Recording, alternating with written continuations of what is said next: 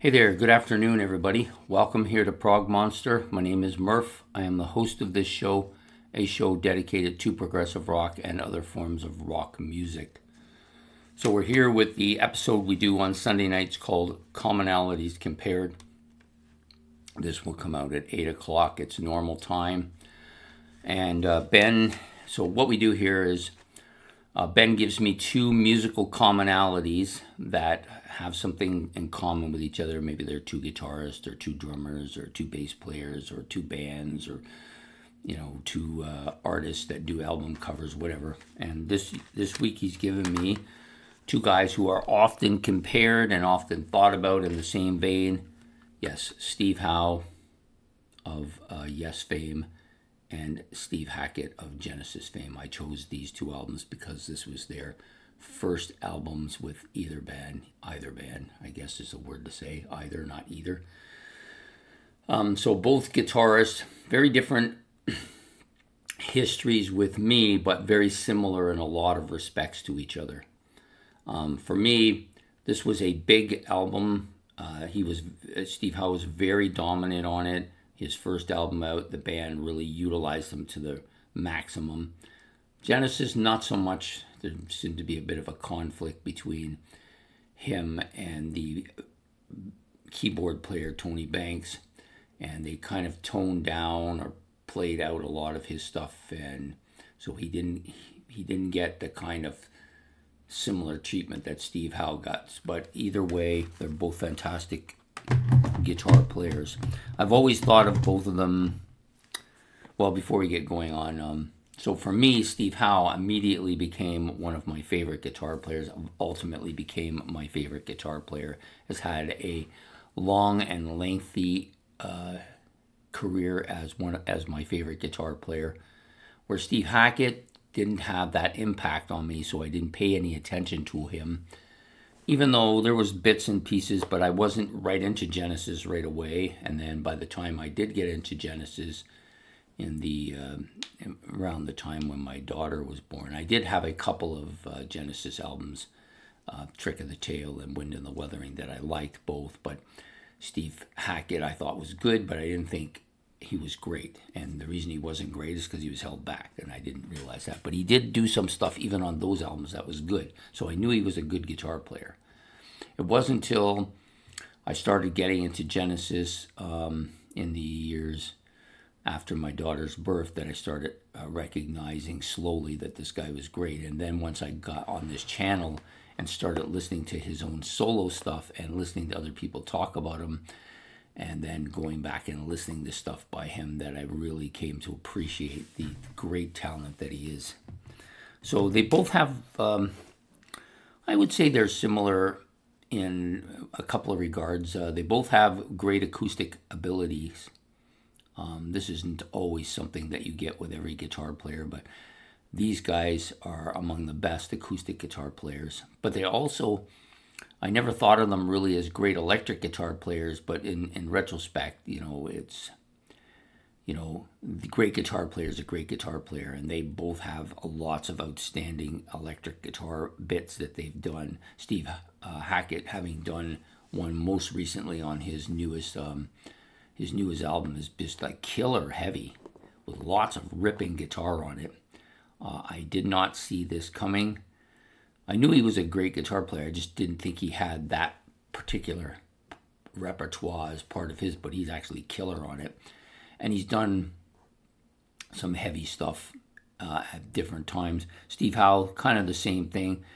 He he does like he started out with that "Yours Is No Disgrace." It's kind of a choppy song, and then uh, some absolutely killer kind of um, almost jazz fusiony type of stuff on um, Sound Chaser, and then completely changed, uh, almost changed his whole sound with uh, drama, where his music was such heaviness and scrapingness, and and just some really good distortion on there too. It's just not something that I normally think of either of these guitar players as being.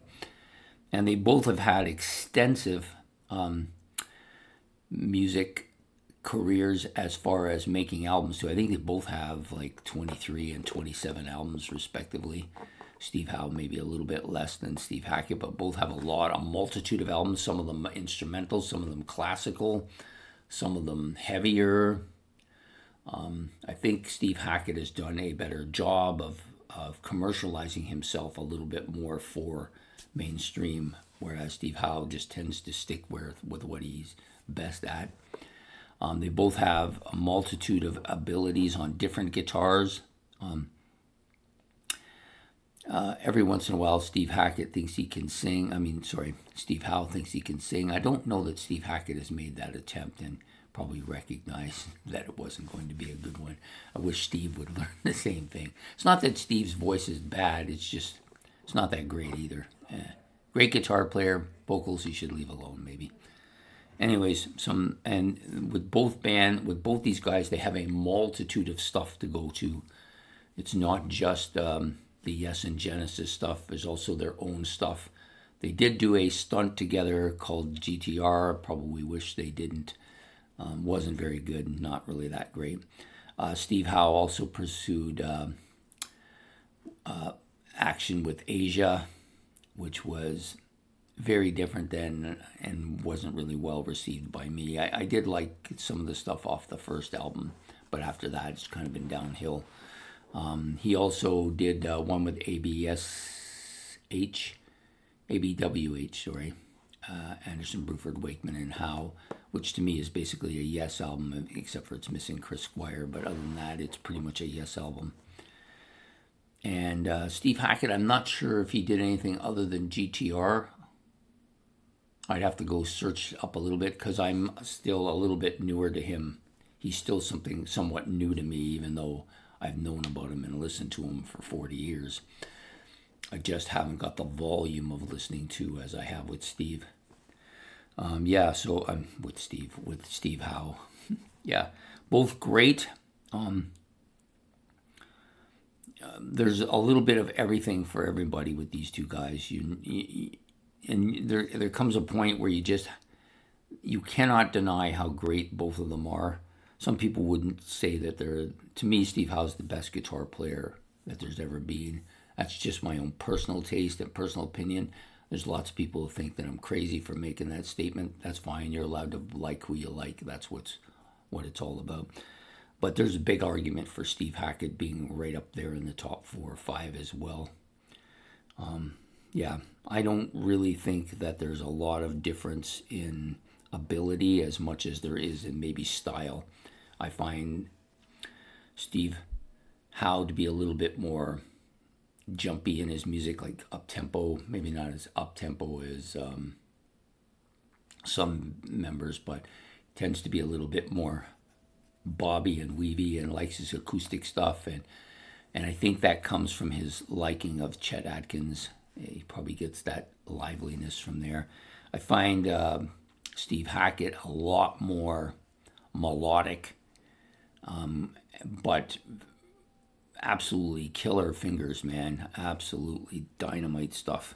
But on the whole, there is uh, a lot more similarities between them than there is differences. Uh, both are great. I hope they both continue to be going on. They're both older now in their 70s, but both have some great abilities. I, I hope that they continue to make stuff right up until the end, um, which you know, who knows when that's going to be.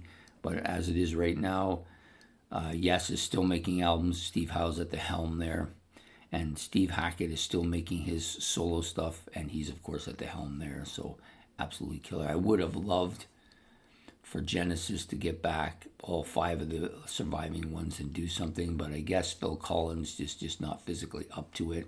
So, what would he do? He couldn't just be the singer if Peter Gabriel was doing that. So, and he can't do the drums anymore. So I'm not sure if that makes any sense for them anymore. It's unfortunate this just didn't happen. I would have loved to have seen it at least just once, and I'm, I don't think I'm alone. I think a lot of people would. They're one of the few bands out there where the five main people are all still to, all still alive and all capable. Anyways, I hope uh, I hope you've enjoyed this episode of Commonalities Compared. Please hit the like, subscribe, and notification bells. And don't forget to put your comments about both guitar players in the comment section below. And we will be back next Sunday with another commonalities compared. So take care and have yourself a good day. Goodbye.